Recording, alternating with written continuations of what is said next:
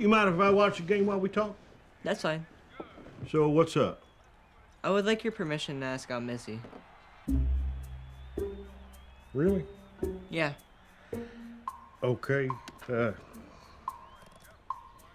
well, I appreciate you coming to me. I wanted to do this the right way. Uh huh. You know, Billy, it sounds like a big step. I'm not sure Missy's really ready for dating yet. She went out with Marcus from school. They went to the movies. Yeah, that is meaningful. But they broke up, so now's my chance. Does Missy know anything about this? No. Great. Let's build on that. You don't want to be the rebound guy. What's that?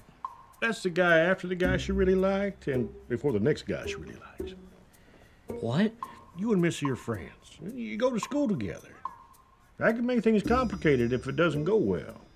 I didn't think about that. If she turns you down, you're going to have to see her all the time. But if it goes right, I get to see her all the time. I just think you ought to take a minute and figure out if it's really worth it. It's like football. You can go for it on fourth down on your own 20 yard line, but if you don't make it, it's game over. You're not just a football coach, you're a coach of life. What did you say to Billy? Uh, what did Billy say to you? He asked me out, and he said he talked to you about it? Well, yes, but Why wouldn't you warn me? He asked me out in front of my friends. I didn't tell him to do it. I, I told him to think about it. Well, he thought about it and then he did it, so thanks a lot. Wayne was right. You told Coach Wilkins? Little? His wife is my teacher. Do you have any idea how bad this is? I'm putting it together.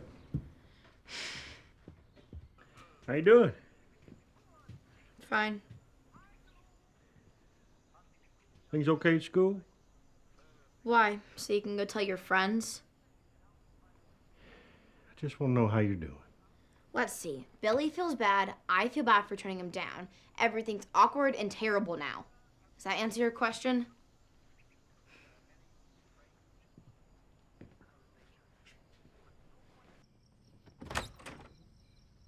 Hey, Thanks for letting me come by. sure. How's he doing? I don't know. He never tells me anything. Missy talks. Tough week, huh? Yeah. Yeah, I've been there. Yeah? Oh, yeah. Darcy Lockhart, eighth grade. Shut me down on a school bus. That sounds awful. Couldn't even leave, just had to sit there. I asked nine stops too early. What did you do? Yeah, I felt bad for a while, but then I asked out Maggie Gormley. She said yes? Absolutely not. Would you believe I did it on the bus a second time? What a dope. Well, I'm never asking anybody out again. You will. At least the worst part's over. Doesn't feel like it. Hey, you got rejected, but was it the end of the world? No. And that is extremely valuable information. A lot of guys don't learn that and stop taking chances. And honestly, you dodged a bullet with Missy. The girl is mean. Thanks.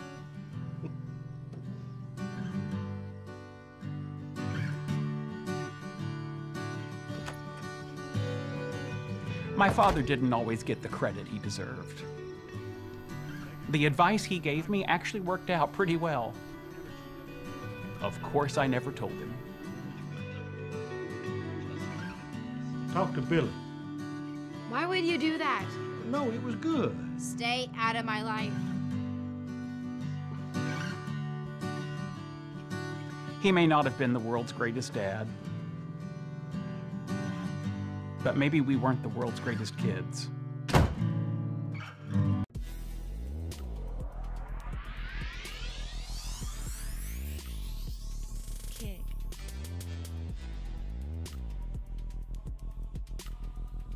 House music.